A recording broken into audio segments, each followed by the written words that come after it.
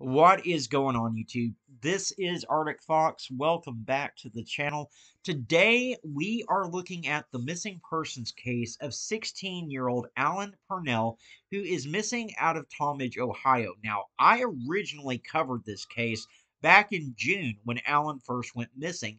However, he has still not been located, guys, and he's been missing for 5 months at this point. I've been in contact with his grandmother, and she is literally begging for anyone to help find her grandson.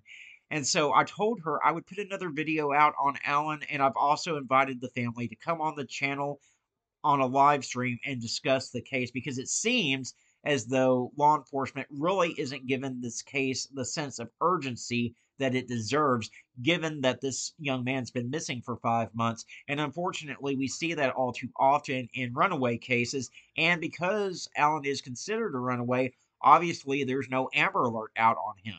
So Allen is a 16-year-old biracial male who was last known to be in the area of West Avenue in Tallmadge, Ohio on June the 29th of 2022.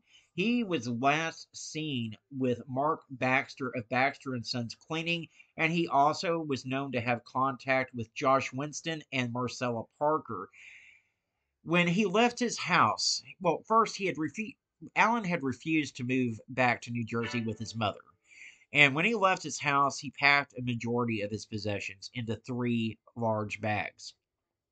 Now, these possessions included his work clothes, his sheets, his comforter, and his towel. It's believed that he was probably picked up by someone, as it would have been very difficult for Allen to carry everything on foot. At the time of his disappearance, it's believed that he was wearing sweatpants, a t shirt, and sneakers. Allen's 5 foot 8 inches tall and weighs 120 pounds with light brown curly shoulder length hair and brown eyes. Anyone that has information on Allen or his whereabouts is asked to contact the Tallmadge Police Department at 330-633-2181.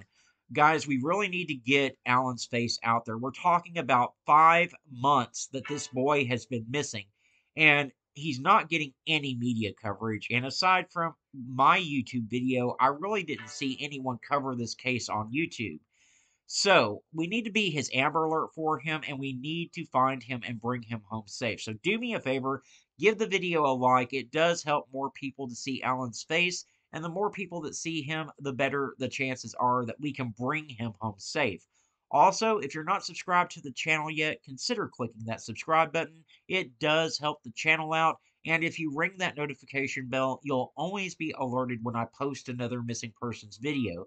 But the most important thing I'm asking you to do above anything else is to simply click that share button. Share this to your Facebook, your Twitter, your Instagram, wherever you have social media. Guys, it takes one second of your time to do, and it can make all the difference in the world and whether we're able to find Allen and bring him home safe.